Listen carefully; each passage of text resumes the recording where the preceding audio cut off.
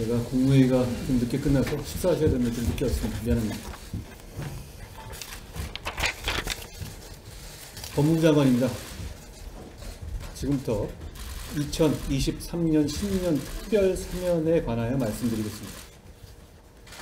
정부는 출범 두 번째 해를 맞이하며 화해와 포용, 배려를 통한 폭넓은 국민 통합의 관점에서 12월 28일자로 정치인, 공직자, 선거사법, 특별배려 수용자 등 총 1373명에 대하여 특별 사면을 단행합니다.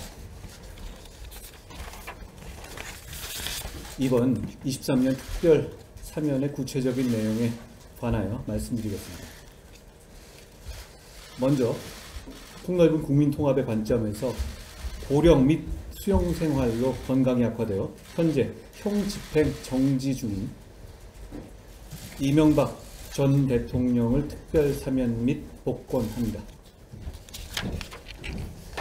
아울러 범국민적 통합을 위해 범죄의 경중, 국가에 기여한 공로, 형 확정 후의 기간, 형 집행률 등을 종합적으로 고려하여 정치인 등 8명을 사면 대상에 포함하였습니다.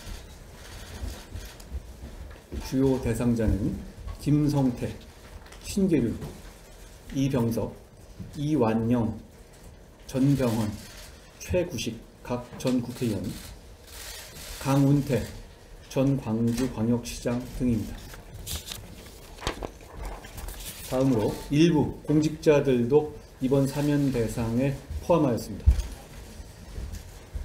국정수행 과정에서 당시의 직책과 직무상 잘못된 관행에 따라 불법 행위를 저질러서 법의 심판을 받았던 주요 공직자 66명에 대해서 그간 국가사회에 기여한 공무 등을 감안하여 특별 사면 대상에 포함시킴으로써 다시 국가 발전에 기여할 수 있는 기회를 부여하였습니다.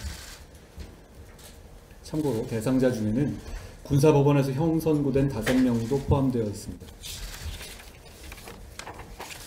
주요 대상자들을 말씀드리면 먼저 청와대 관계자로서 김기춘 전 청와대 비서실장, 박준우, 우병우, 조원동, 조윤선 각 수석 비서관 등이 포함되었고 공직자들로서 최경환 전 경제부총리, 원세훈 전 국가정보원장, 김경수 전 경남도지사, 이채필 전 고용노동부 장관 등이 포함되었습니다.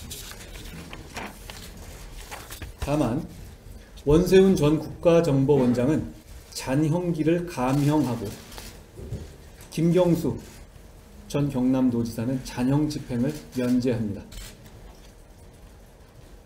그리고 국정원 관계자들로서 남재준, 이병기, 이병호 각 전 국정원장 등이 사면 대상에 포함되었습니다. 다음으로 선거사범입니다. 이미 동종 선거에서 한 차례 이상 출마 제한에 불이익을 받은 제18, 19대 대통령 선거, 제20대 국회의원 선거, 제6, 7회 전국 동시 지방선거 사범 총 1274명이 그 대상입니다. 주요 대상자는 권석창, 이규택 각 전 국회의원, 우석재 전 안성시장, 황천모 전 상주시장 등입니다. 마지막으로 특별 배려 수용자입니다. 출산이 얼마 남지 않은 수용자, 노숙 등 경제적 어려움으로 인해서 식료품 등을 훔친 생계형 절도사법, 중증 질환으로 거동이 불가능해서 정상적인 수감 생활이 어려운 수용자 등 특별한 배려가 필요한 수용자 8명에 대해서도 형 집행률의 정도에 따라서 남은 형의 집행을 면제하거나 감경합니다.